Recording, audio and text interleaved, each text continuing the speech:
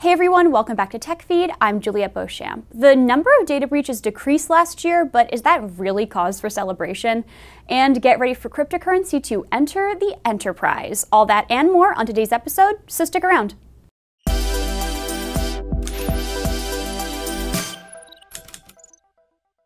Okay, so I know I'm always going on about the latest data breach or hack, but we actually have some slightly positive news in terms of data security. A report by Risk Based Security revealed that the number of publicly known data breaches decreased last year in comparison to 2017. The amount of exposed records also decreased by a third. That's definitely an improvement, but we should note that the report still says that 2018 was the second most active year for publicly disclosed breaches. That's second place to 2017, which was an especially bad year. And this data only accounts for publicly disclosed breaches, not data breaches that were only revealed to regulators. So it might be best to take this somewhat optimistic news with a grain of salt. And hey, if there's a publicly disclosed data breach in 2019, we'll be talking about it here on Tech Talk. JP Morgan Chase could be the first major bank to launch a cryptocurrency. The new crypto coin will be called JPM coin and will be backed by US dollars.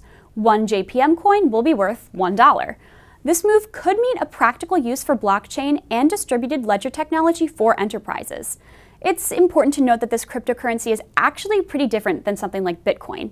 For one, its value stays consistent. One JPM coin will always equal $1, while Bitcoin's value fluctuates with supply and demand. And JPM coin will only be available to the bank's large institutional clients, meaning everyday people won't have access to it, at least at first.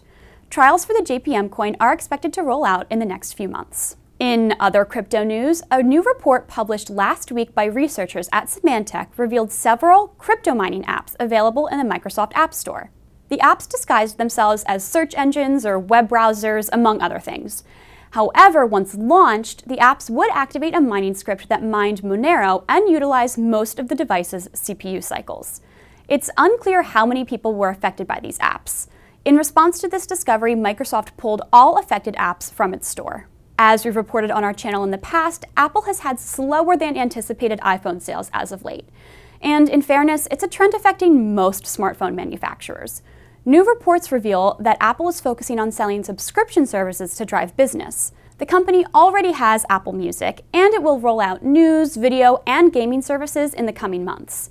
In fact, Apple pledges that in 2020, its service business will be double what it was three years prior. Thanks for watching today's episode of Tech Feed. If you liked this video, be sure to give it a thumbs up and subscribe to our channel. And let me know in the comments if you'd be interested in any of Apple's new services or what you think they're going to launch soon. See you next time.